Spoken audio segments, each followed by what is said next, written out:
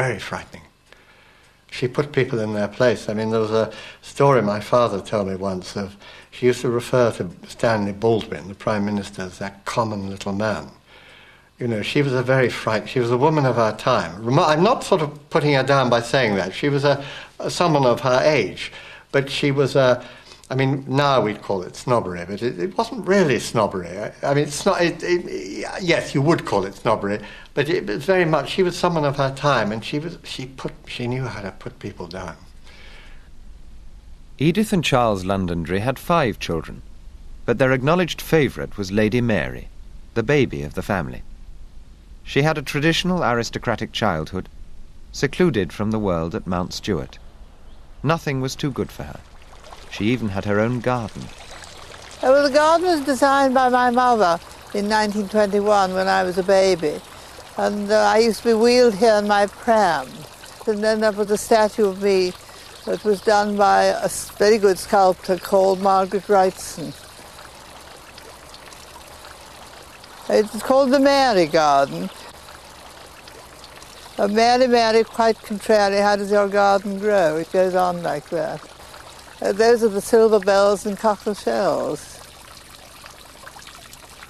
My governess and I used to spend a, a lot of the summer here.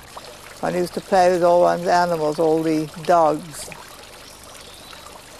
and of course doing one's lessons. Are you good at lessons? Um, no, I shouldn't think so. Did you think you were living a very different life from most people? No, I don't think so.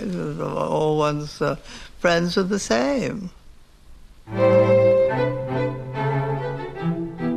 Lord Londonderry was descended from Lord Castlereagh, the great Foreign Secretary. He had money and a seat in the House of Lords. But in the 1920s, he was facing a world in which political power was no longer his for the asking. When he and Edith were asked to host annual political receptions for the Tories at their vast house in London, they seized the chance to impress and woo the new people with power. I was 15 or 16 when I was allowed to go. I watched from the top of the stairs all the people arriving at Londonderry House, and the smiles used to start halfway up and go into a broad grin when they arrived to shake hands. Among the guests was a young captain in the Irish Guards, John Leslie. The butler would, would say, uh, Your name, please, like that, and I'd say, Oh, Mr. John Leslie. Mr. John Leslie, would shout the butler. and you'll shake hands, first of all, with Lady Londonderry, who would be very nice. I must have been the least important person there, but said, Oh, hello, John, uh, as though you were the chief uh, guest, practically. And then you shook hands with Neville Chamberlain, just how do you do? And then Lord Londonderry would be very nice too, and say, oh, hello, here you are among us, sort of thing. Everyone was in uh, the full dress uniform, medals and decorations. Uh, most of the ladies uh, had tiaras. Um, Lady Londonderry especially had a wonderful crown-shaped tiara and a marvelous corsage of diamonds. So she, you got the impression she was just dressed in diamonds on black, I seem to remember. She looked wonderful. She had this diamond tiara, and then she had a wonderful pearl necklace and long earrings and uh, masses of beautiful dresses. There she stood, looking wonderful in one of the black dresses she usually wore, uh, dripping with these marvellous jewels, with flanked by her husband and the Prime Minister of the day uh, in his gallery at the top of this staircase, which all these people in their best clothes, gleaming with jewels and orders, were marching four abreast. One of her contemporaries said rather unkindly, I think this was Lady Cynthia Asquith, that it was rather like a musical comedy stage, but it was most impressive. Of course, practically everyone was there. Everyone, meaning the, the society of that time. Um, uh, there'd have been admirals, uh, a few generals, uh, and a few uh, ambassadors, not necessarily every ambassador. And then I remember enormous arum lilies in a, in a great um, pot, about five feet high, which gave out a wonderful scent. And an orchestra played. I seem to remember them playing the London air rather frequently.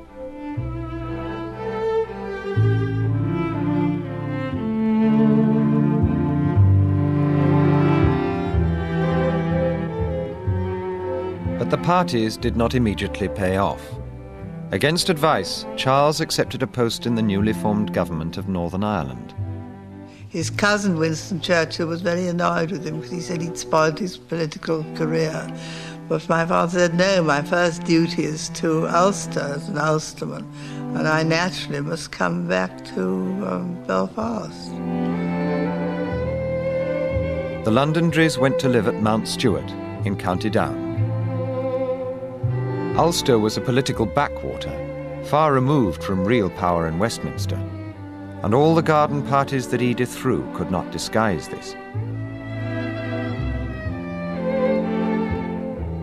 But then Edith struck up an unlikely friendship with the Labour Prime Minister Ramsay MacDonald, the illegitimate son of a farm labourer. MacDonald became a frequent guest at Mount Stewart and at Edith and Charles's house in London. He loved being asked to Londonderry House. He greatly enjoyed the company, uh, the, the rich, the artists, the painters, the writers, the champagne, the general aura of glamour, sophistication, and absolute fun. I remember when he was made um, an elder of Trinity House, he was so pleased with his uniform, he rushed round to Londonderry House to show it off to my parents. He loved all that sort of life. He sort of entered it like, um, he loved it all. Many in the Labour Party saw MacDonald's friendship with Edith Londonderry as a sellout. But from the Londonderry's point of view, it proved useful. When MacDonald was asked to form a coalition government, Edith spent the day with him at Chequers. She returned with a cabinet post for her husband. Charles Londonderry was now Minister for Air. At the age of 55, he learned to fly. The Air Minister lands on the deck of HMS Courageous in his moth. Charles Londonderry proved to be a capable minister. But the continuing appeal of a title, grand houses, and a charismatic wife had helped him to political power. And he wasn't the only peer still in government. There were seven other aristocrats in MacDonald's coalition cabinet of 1931. For the daughters of the aristocracy, formal court presentation continued. But by the late 20s, young women were becoming quite blasé about the whole business. You wouldn't meet anyone or get to know anyone or get asked to more dances because of it. But it's just something you did, almost like going to the dentist. Lady Mary Pakenham was the daughter of the Earl and Countess of Longford. After being presented, she was launched into the old ritual of debutante dances. There were about 80 girls, I think, whose mothers my mother knew and had always known and went to all the same sort of dances. And you didn't care who the men were, as long as you had uh, enough and more than enough. And they came on a sort of list, just the mothers passed their lists around.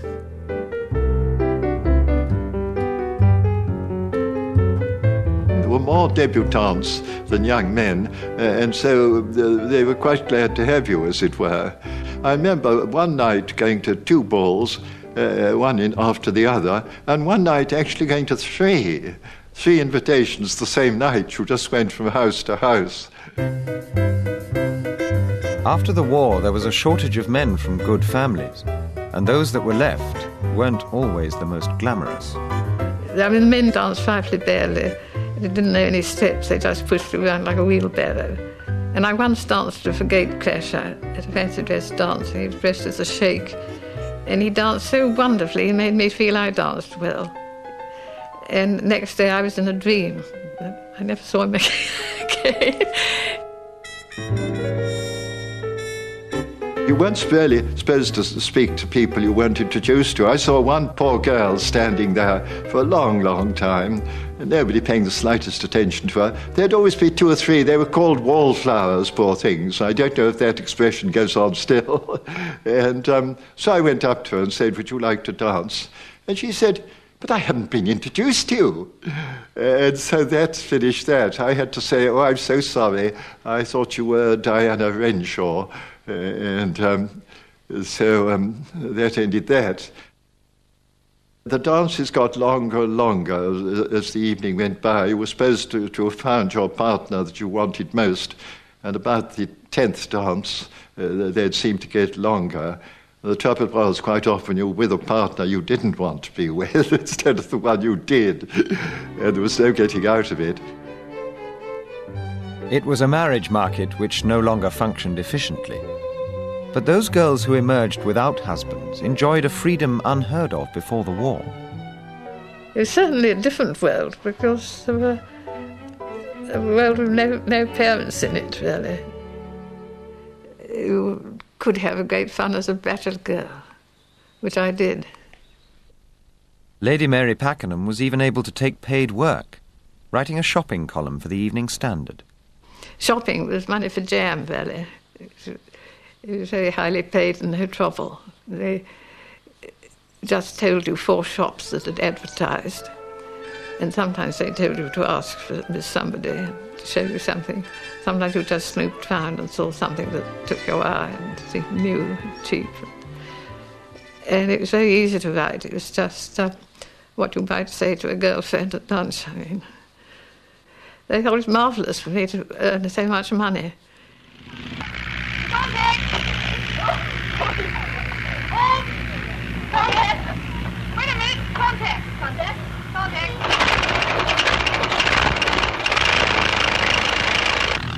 Starter's got his flag up.